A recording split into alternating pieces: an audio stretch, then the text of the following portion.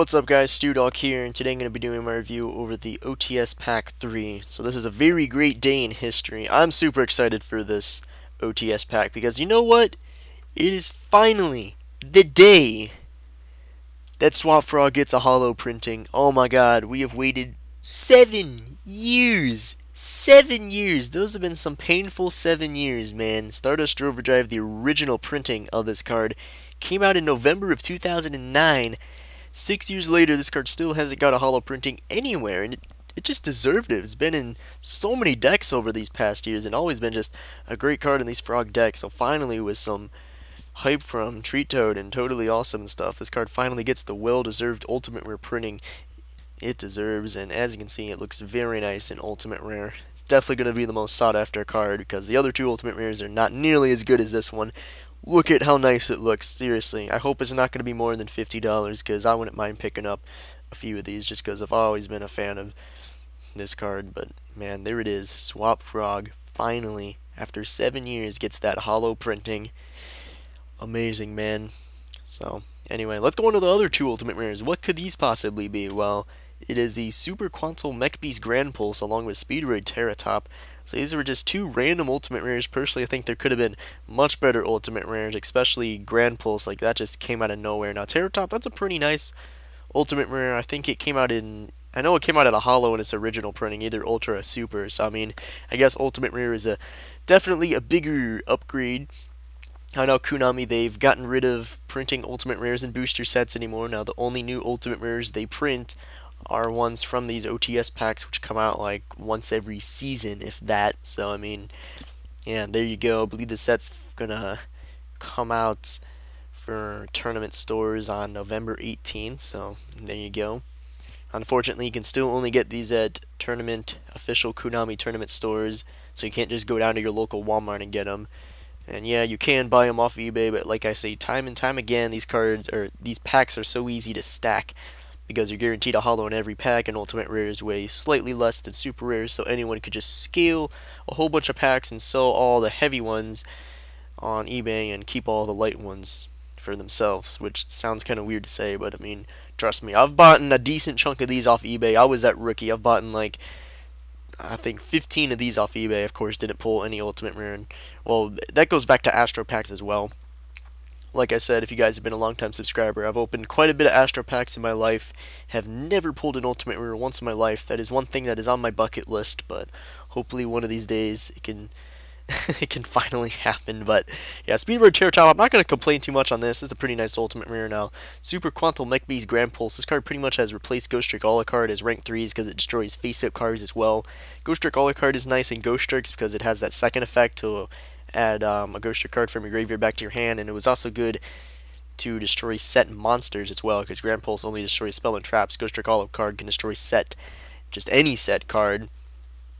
But, I mean, being able to destroy continuous cards and face-up cards is just so much better, and not a lot of people are setting monsters in the current meta. I know Ghost Trick card was very nice in that Geargia mirror match as you go MK2 into Geargiano, exceed into that Ghost Trick card, detach to destroy your opponent's set. Geargiarmor, but unfortunately Geargias are not doing anything in the meta right now. Pretty sad, but here it is. Your three ultimate rares overall, not too bad. Definitely could have been much better cards to print as an Exceed if they wanted to do another Exceed, but what you gonna do? I mean, Utopia the Lightning would have been kind of nice. I wouldn't mind an Omega reprint as well. Seriously, where is our Psy-Framelord Omega reprint? Like, come on already. Card's been $50 for the longest of times. Now I know if they would have done that as ultimate rare, that still would have been like fifty dollars. But I mean, if they would have put that as like a super rare, oh, that would have been so clutch. Not even funny. But anyway, let's go over some of the other cards in this set.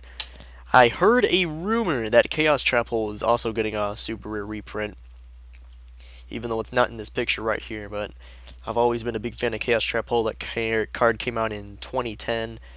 I've used it in pretty much any side deck. It's always been one of my favorite side deck cards. But I mean I think almost all the side decks I used at my top 8 regionals I used it in just because I thought it was such a great card and I cited it before anyone else. Trust me, I've there's a old old video on my channel talking about how good that card was and yeah, I, I was the only one who cited it for the longest of times. I just always thought it was a great card. So finally, I heard a rumor that it is getting its first holo printing in this set. But going on to some of the other super rares, We got Oasis of Dragon Souls, which is pretty nice. Ally of Justice Cycle Reader, which is getting another super rare printing. I know its original printing was in Hidden Arsenal 3 in late 2010, so finally, after six years, this card can get a reprint, so the supply will be much higher on that. The demand might still be high, but I mean, at least there's going to be a lot more in circuit, so it will be much easier to get.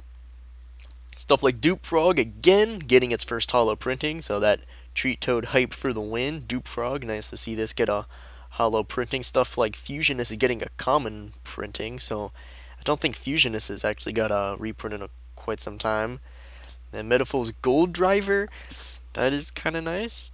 Stuff like Ignite Reload, that's getting reprint as well. Sky Iris, which came out of that structure deck about a year ago, finally getting that holo printing it deserves. Domain of the True Monarchs, even though Monarchs are not doing anything right now after those ban list hits. I mean, I guess they're still giving them some holo cards. I know in the previous uh, tournament pack, like the tournament pack 3 and the OTS pack 3, whatever, or the OTS pack 2, rather, the one before this one had a lot of Monarch cards holo, so that's pretty nice.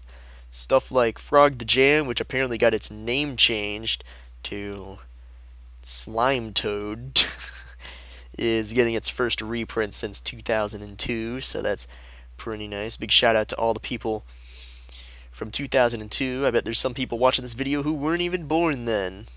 Feels bad, man.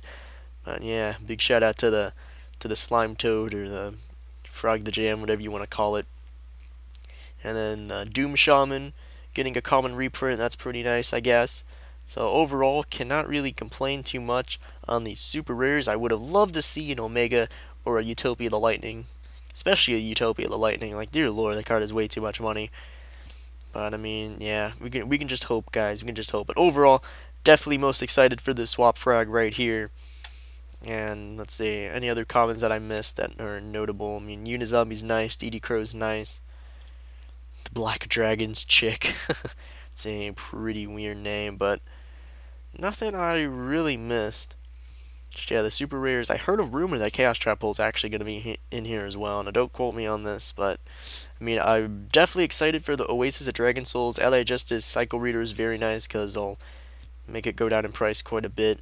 Paladin of Felgrand, that's a pretty random super rare.